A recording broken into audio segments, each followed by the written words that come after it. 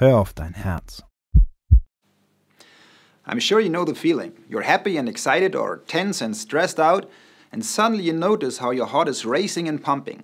And this feeling can be very frightening, especially if you don't know what's behind it all.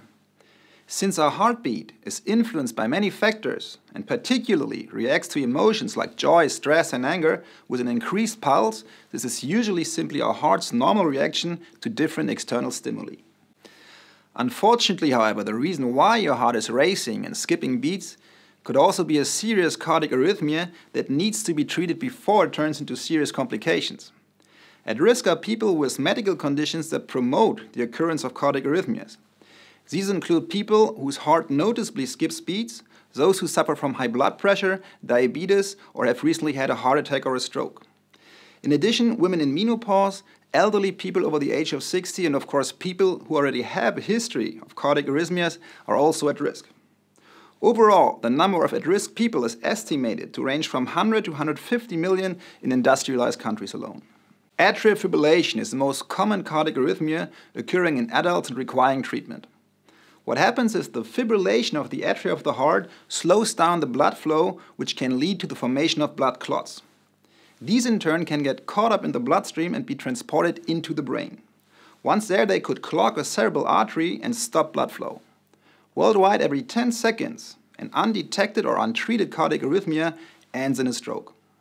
We can help prevent such clot formation with blood thinning drugs and thereby protect against this complication. Before this preventive treatment can be given, obviously, the patient must have been actually diagnosed with cardiac arrhythmia.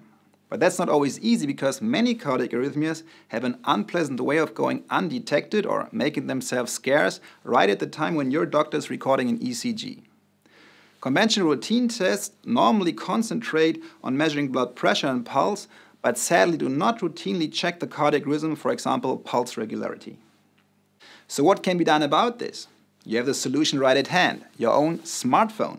Most of us carry one around with us all the time anyway, so we usually have it available when we notice an abnormal heartbeat.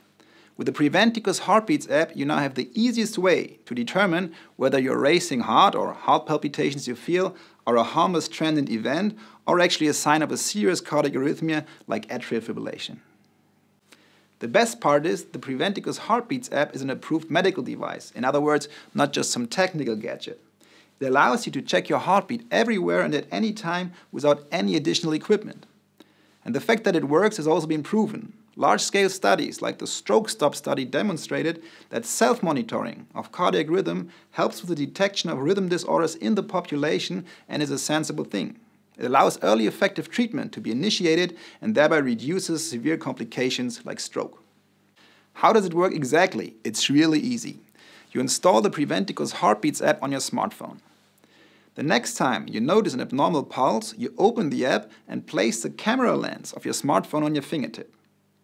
The Preventicus Heartbeats algorithm now analyzes your pulse curve, and within 5 minutes you get the results. Ideally, the following image results.